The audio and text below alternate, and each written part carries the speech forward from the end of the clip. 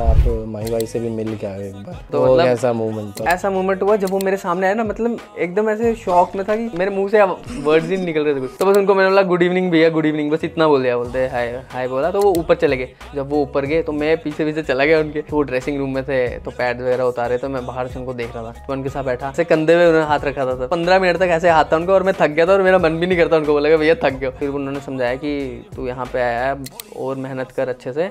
ये मौका सबको नहीं मिलता तेरे को मिला है इसको और अच्छे से करना है बस सीरियस रहना बस अपने क्रिकेट को रहे तो बस उनसे ये बात हुई मेरी तो फिर उसके बाद सब आ गए तो फ़ोटो वगैरह क्लिक कराई